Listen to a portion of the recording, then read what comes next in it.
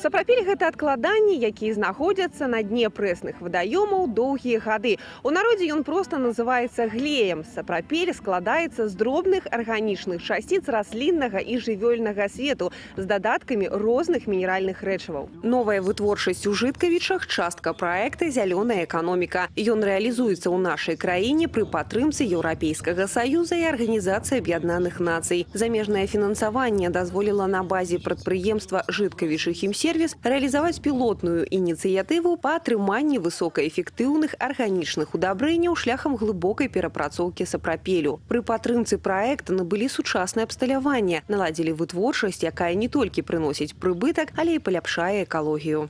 Здесь оценивается порядка 80 миллионов тонн сапропелей, которые можно добывать.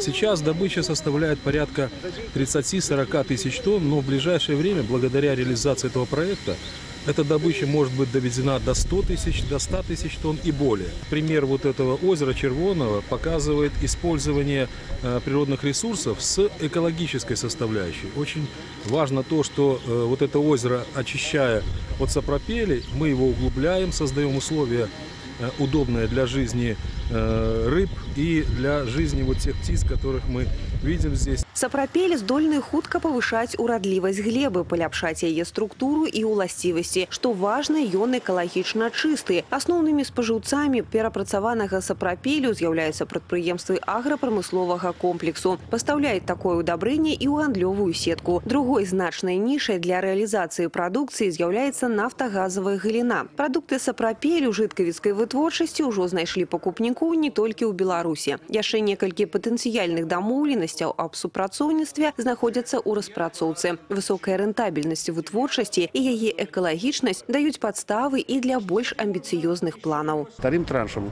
э, из Евросоюза нам выделена тоже определенная сумма денег на переоборудование этой линии. Я думаю, через полгода мы с вами встретимся, и вы- я покажу новое оборудование, которое действительно будет, даст экономический эффект. Но и прежде всего я говорю, что э, добавятся рабочие места для людей, э, получится хорошая добав- добавленная столь- стоимость будет, потому что новое оборудование, оно предусматривает, так скажем, э, новый э, выпуск новой продукции. Настасія Кучынская, Яўген Макеенка, тэлерадыёкампанія Гомель.